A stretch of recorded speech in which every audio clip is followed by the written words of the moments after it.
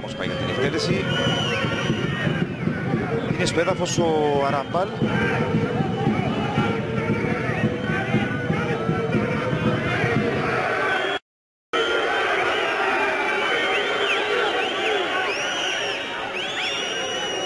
Εντάξει, είδατε τι συνέβη.